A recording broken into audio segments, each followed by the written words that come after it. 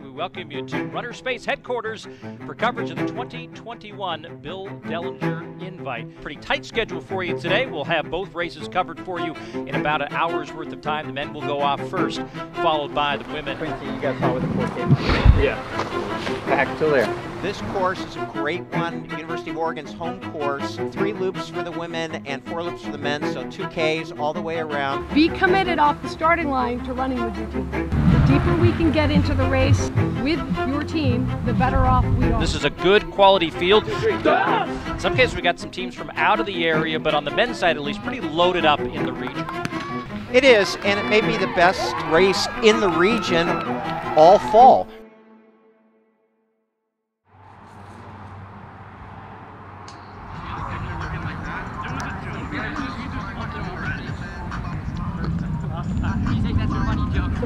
Skip, lateral skip, karaoke, shooting. Like I was saying, excited for tomorrow. Competition's going to be pretty, pretty solid.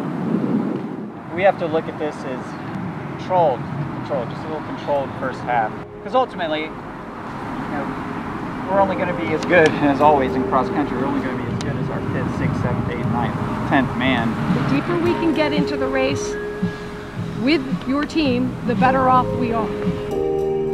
Oftentimes I'll hear people say, well, I couldn't find them. Be committed off the starting line to running with your team. If you're focusing on step one, then you'll be fine. We warm up first, then we worry about the race, then we worry about slowing down each other. It's just the first step, guys.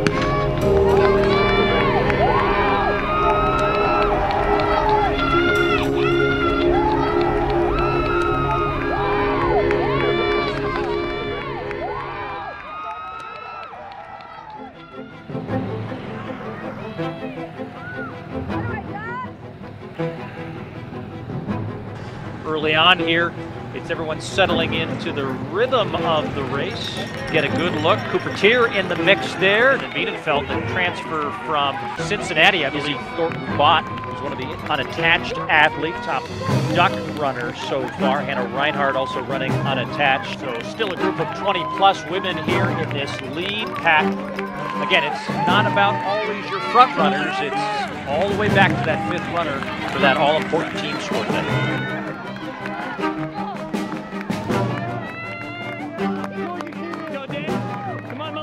You figure that there is going to be some sort of breakaway here in the not too distant future. This lead pack trying to create a bit of a separation from that second group.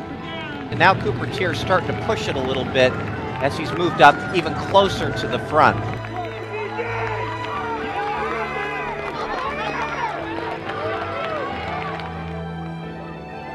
Ventures now getting a little bit of a challenge by Thornton Bott. Cooper Teare now has covered that move by James Mora of Gonzaga and has the benefit of his new teammate, Bienenfeld. Now has about a stride on Thornton Bott, who hasn't given up hope of trying to close that gap right now. Using the rolling hills here. It's starting to break a little gap now. And no, yeah, it's it's over.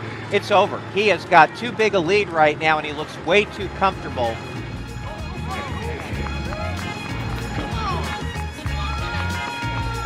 Never mind a tone when I told Pretty Tony. Listen to my tone, you ain't catching you a Tony. Award winning Well, Thornton Bott has found a gear just when we thought Gregory had it in the bag. We have something to react to and will take the win with a come from behind victory. Under the finish, it's Cooper Teare. And they're going to win this by a lot. There's box number three.